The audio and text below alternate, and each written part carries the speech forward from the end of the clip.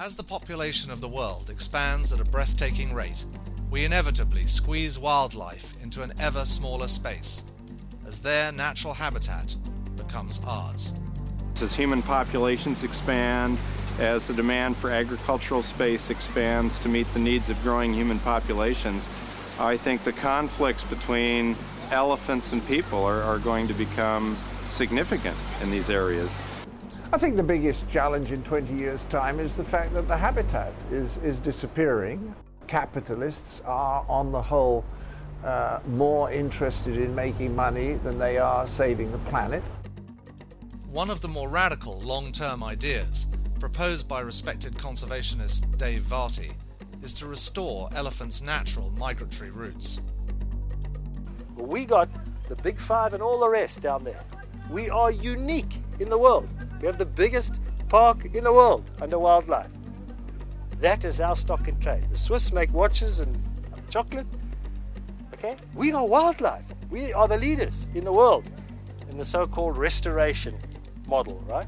Why would we not simply extend that park and link it with the mountains? It's called corridors.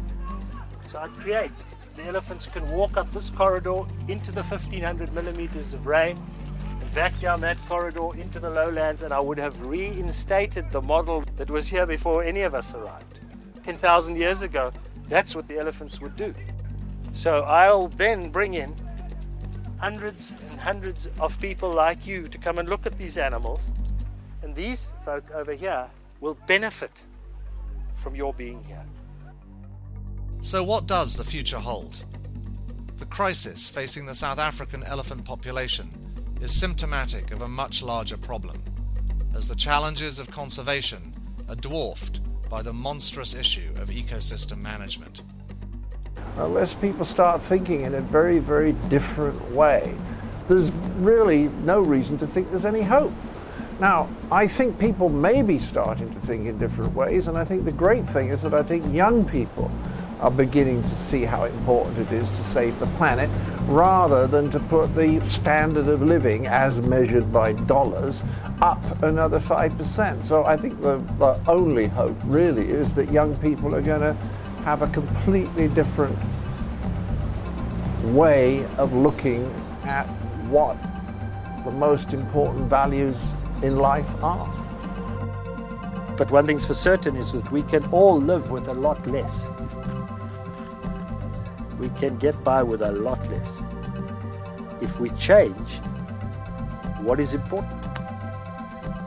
And all the things we do, we acquire money, build bigger houses, bigger air conditioners, bigger rooms, and you're going to be saying, wait a minute, I don't need all this shit. How many cars do I need? How many holiday homes do I need? Do I need all of this stuff? And I'm just going to start simplifying. I'd rather not have a holiday home. I'd rather knock the damn thing over and let the birds go and live in that part of the world. Or the bears.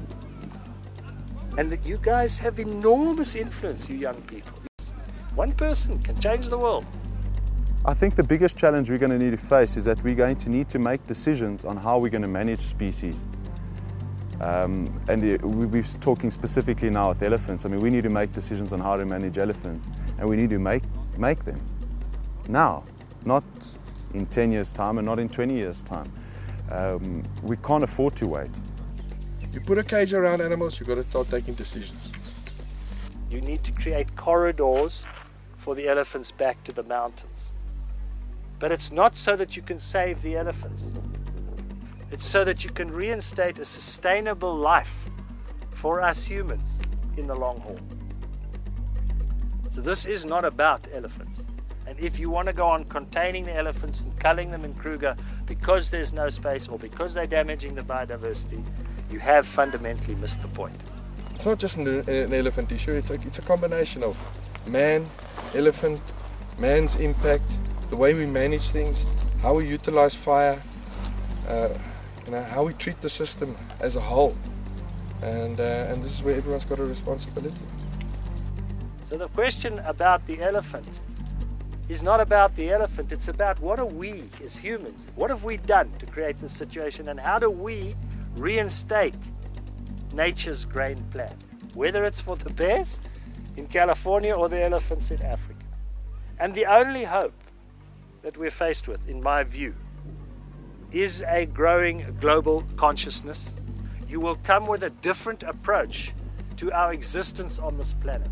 It may not be you, it may be your children. But it is you, the individual, not you saving the world, not the WWF or Save the World societies or organizations or the World Bank or the IMF or government or George Bush or Joe Shit the Ragman. It is you, just you, in the way in which you conduct your relationship with the earth. Despite innovative and valuable new ways to manage populations, there are no easy solutions, only difficult decisions. Decisions that ultimately lie with every one of us. The survival of animals worldwide depends on the education of new generations to understand we must change the way we live, not the way they live. If we are to ever slow down the inevitable, we have to realize that conservation is about much more than putting up a fence.